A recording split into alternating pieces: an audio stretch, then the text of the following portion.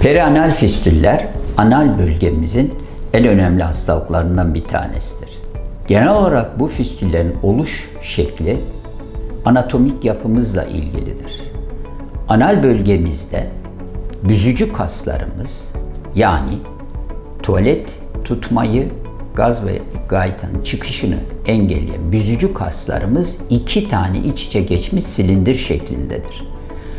Bu iki iç içe geçmiş silindir şeklindeki yapının arasında saat kadranı gibi çepeçevre oluşan küçük bezcikler vardır, bezler vardır. Bu bezler bir kanalcıkla anüsün ağız kısmına doğru bir salgı salgılar.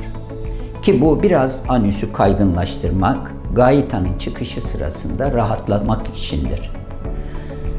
İşte bu yapı bakterilerin e, gaitada bulunan bazı bakterilerin bu kanaldan gerisin geriye beze doğru gitmesiyle bezi iltihaplandırması bezde bir şişmeye, büyümeye iki kas arasında giderek bunu iterek kendine bir yer açmaya başlar.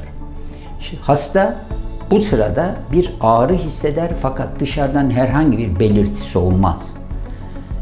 Giderek bu içerideki iki kas arasındaki sıkışmış, apseleşmiş yapı dışarıya açılmanın, akmanın yollarını arar. Bu ya iki kasın arasından hemen anüsün kenarına doğru gelip bir e, apseleşme yapar veya dıştaki kası da ikinci kası da delerek daha ötesine anüsten 2-3 santim daha öteden bir apse başı vererek dışarıya ya bir cerrah tarafından açılır apse veya kendisi o direne olur akar.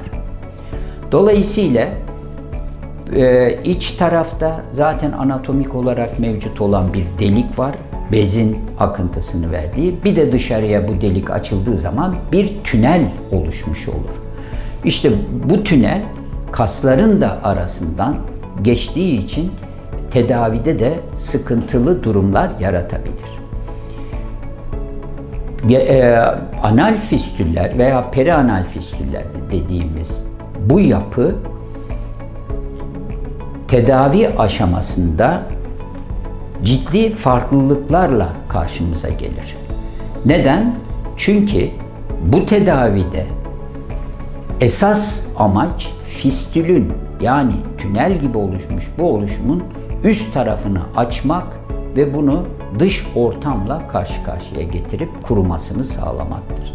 Tabi burada kasların içinden geçtiği için bunu her zaman yapmak mümkün olmamaktadır.